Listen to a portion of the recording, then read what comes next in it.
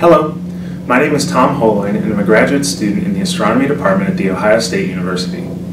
I'm also a member of the All-Sky Automated Survey for Supernovae, or ASAS-SN, and today I'm going to tell you about our new paper titled the ASAS-SN Bright Supernova Catalog 3 2016. This is the third in a yearly series of papers on bright supernovae and their host galaxies that will be written by the ASAS-SN team, and it contains analyses from our first three and a half years of operation.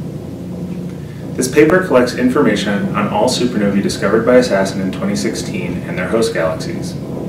As we did in our previous catalogs, we also collect the same information for all supernovae with peak magnitude of 17 or brighter that were discovered by other supernova searches in 2016. More details on the information collected and the sources of the data can be found in the paper or in the video for our first catalog, which is linked in the description below.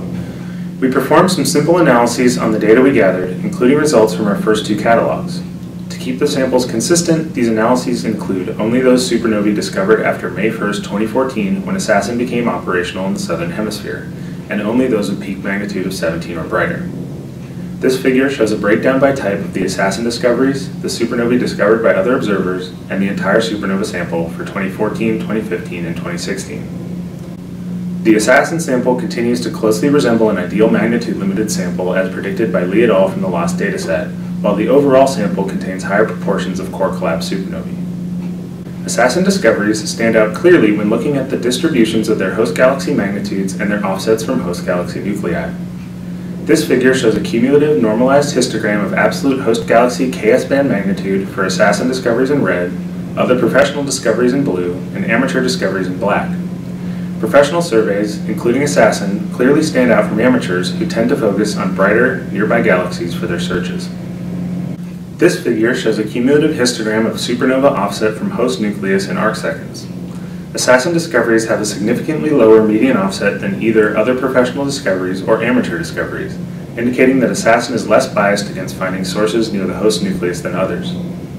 This is true when looking at the offset in kiloparsecs as well, where amateurs and other professionals actually have a very similar median offset. ASAS-SN's impact can also be seen when examining the number of bright supernovae discovered per month. This histogram shows the number of bright supernovae discovered each month from 2012 through 2016, with red representing ASAS-SN discoveries, yellow representing supernovae discovered by others but recovered in ASAS-SN data, and blue representing supernovae not recovered in our data.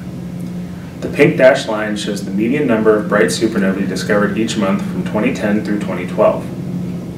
Since ASAS-SN became operational in the Southern Hemisphere in May of 2014, the number of discoveries has been above this median in every month, and the average number of discoveries has increased from 13 to 20. This implies that ASAS-SN finds supernovae that wouldn't be found otherwise.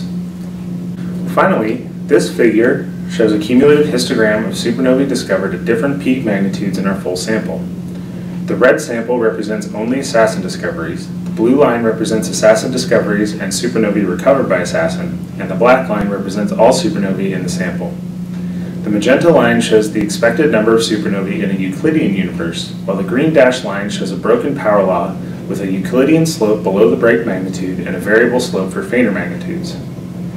The power law fit shows that our sample is complete to a magnitude of roughly 16.3, and that roughly 70% of supernovae brighter than 17th magnitude are being found. The analyses presented in this paper again highlight the fact that ASAS-SN is having a major impact on the discovery of bright supernovae. ASAS-SN remains the only professional survey to provide a complete, rapid cadence survey of the nearby universe, and in 2017 we will be expanding with new units in both hemispheres, allowing us to survey the entire visible sky every night. It is our hope that by collecting the data in these catalogs, we will provide convenient repositories, allowing for new and interesting population studies of nearby supernovae and their hosts. For more information on this work, or on the source of the data in the catalog, please see our paper which is posted on the arXiv. Thanks for watching.